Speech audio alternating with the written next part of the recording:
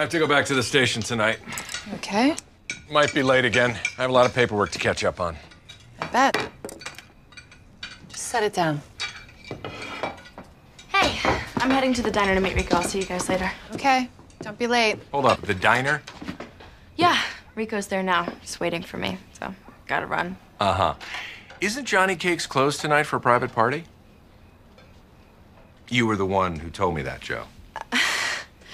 You know, you're right. I forgot. I meant at school. They're open late on Tuesdays. Uh, didn't you just say that Rico was at the diner now waiting for you? She got confused, Kyle. Let her go. If you want to study, study here. Sorry, honey.